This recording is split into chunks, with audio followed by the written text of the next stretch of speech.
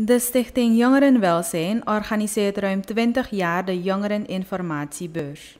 De bedoeling van dit educatief evenement is om jongeren en ouders te informeren over onder andere opleidingen, trainingen, ondernemerschap en dienstverlening aan de jeugd. Dit zal hen in staat stellen bewuste keuzes te maken in hun carrièreplanning en persoonlijke ontwikkeling. De online beurs zal in de periode van 27 tot en met 29 juli 2022 gehouden worden.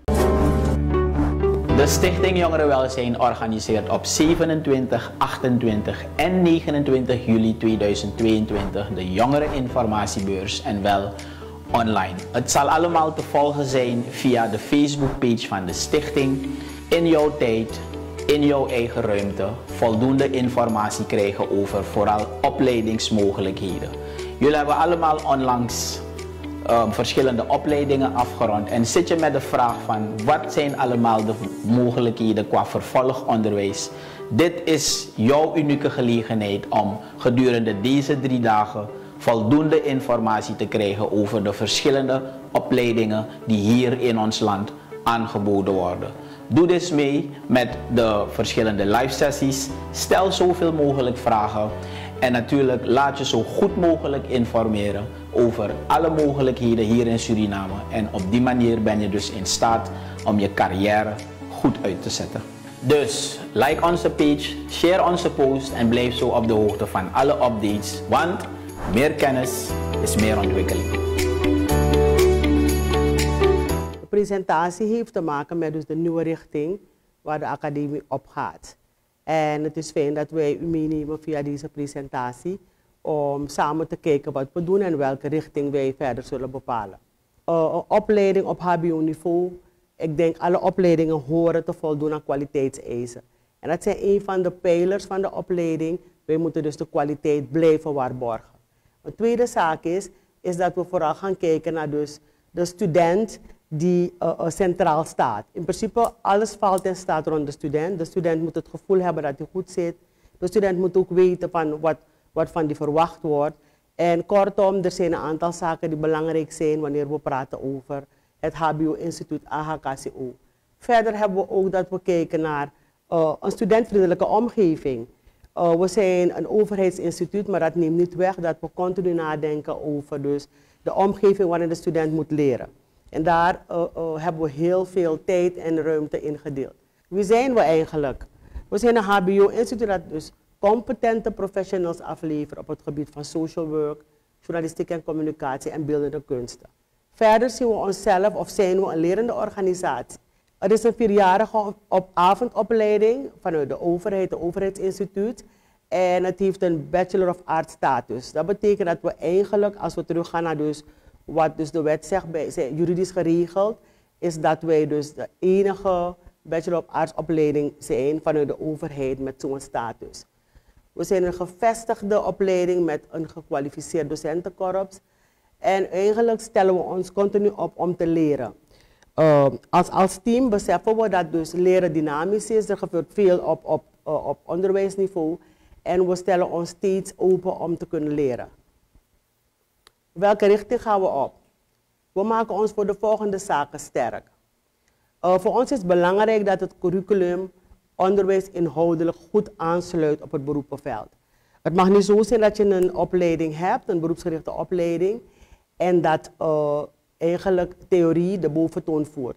Wij hebben jaren geleden zijn we gaan kijken naar het curriculum en we hebben getracht en we doen het nog steeds om te zorgen dat eigenlijk de praktijk bijna 60% of meer en dat theorie eronder valt.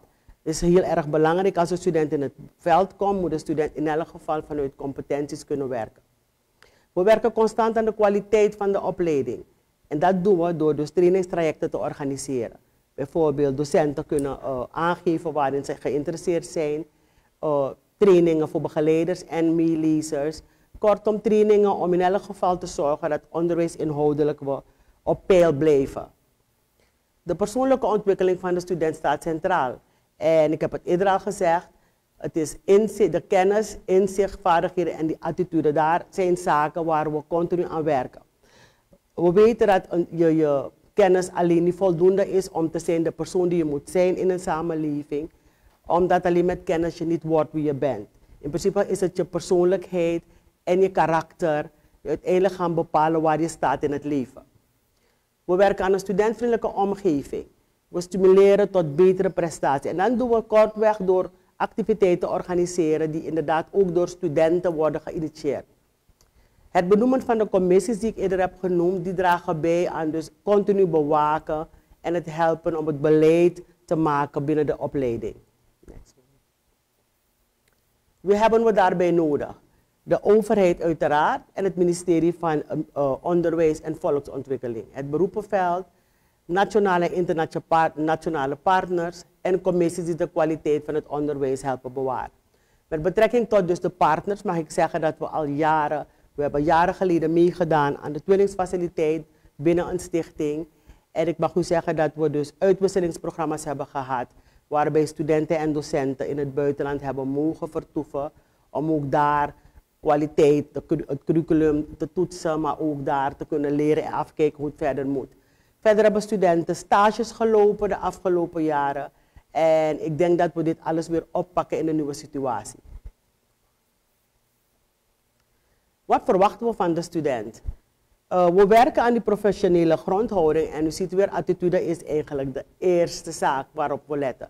De juiste studiehouding, je komt binnen en wij zorgen dat met, met dat wat wij aanbieden, we bewust gaan kijken en sturen wanneer het gaat om de juiste studiehouding omdat zoals uh, binnen onderwijs gebeurt, je hebt de instroom, je hebt een doorstroom, je hebt een uitstroom. Dat betekent dat de, de continu bewaken en de continu sturing gaat helpen dat de student ook binnen de af, vastgestelde tijd de studie afrondt.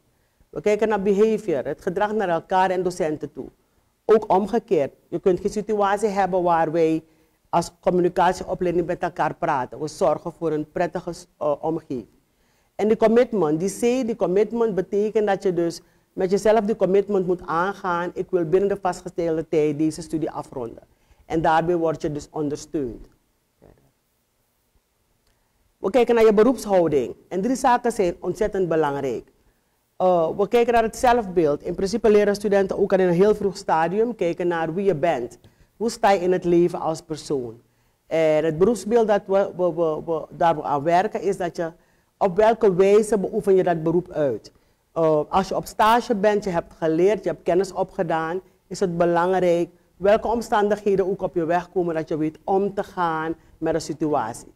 En dan heb je nu de laatste, het context, de omgeving waarin je dagelijks handelt. Hoe gedraag je je? Hoe ga je om met situaties? Hoe kijk je naar de werkomgeving? Kortom, zijn zaken die nodig zijn voor die beroepshouding.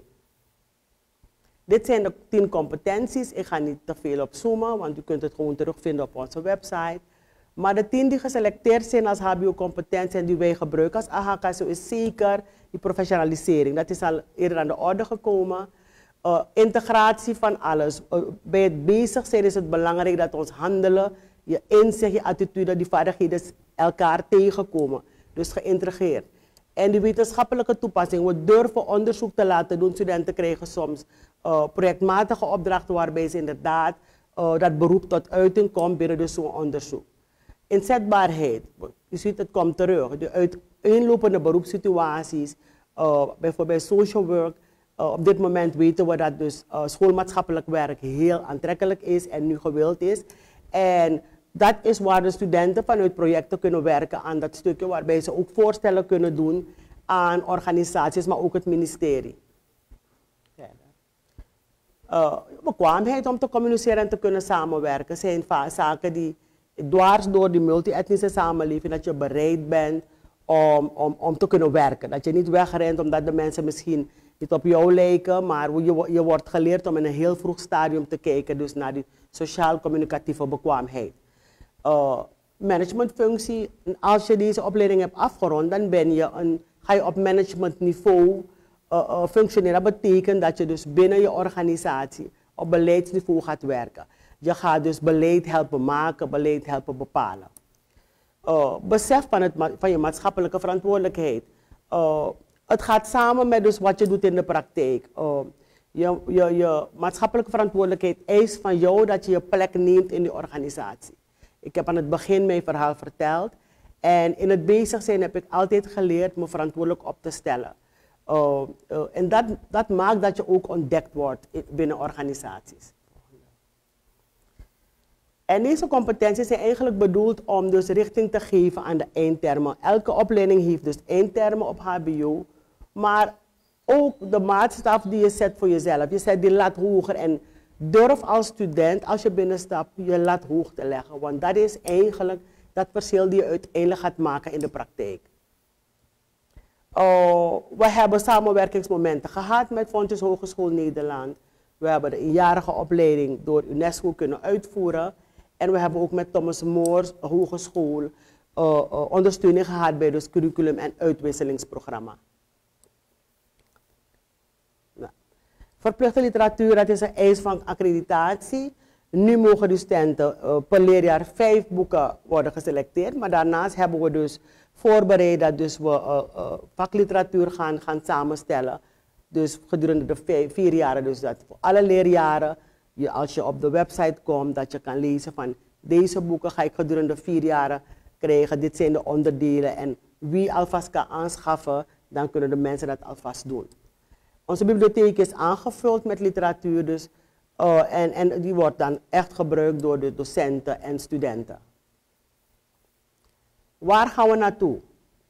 Naast dus de vierjarige opleiding, ik heb al verteld, we zijn een Bachelor of Arts opleiding, geloven wij dat dus wij ook uh, als, als overheidsinstituut moeten werken aan versterken. We weten dat mensen naast bachelor ook on the job getraind willen worden. En we hebben al een aantal uh, trainingen gedaan, maar nu gaan we vooral dit komend collegejaar vooral daarop richten.